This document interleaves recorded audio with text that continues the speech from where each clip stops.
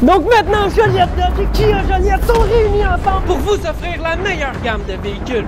Vous pouvez ainsi avoir les camions les plus confortables et les véhicules les plus abordables.